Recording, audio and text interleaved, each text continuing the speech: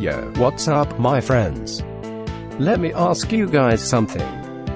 Don't you hate it when douchebag YouTube creators make videos with clickbait thumbnails that lead to a video read by a fucking computer? I bet you do and so do I. That's why I made this video to mock them and fuck up the plan. You see, a lot of the time when we're looking for useful information, we unknowingly stumble upon these types of videos.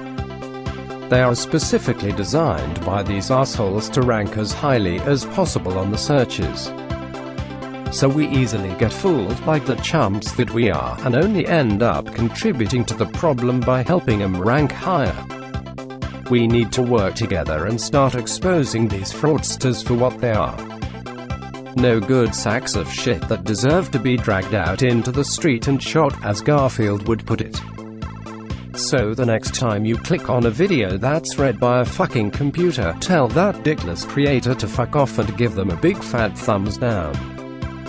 That'll teach them. Not really, but it will be fun and you'll feel better afterwards. That is all. Peace, bitches.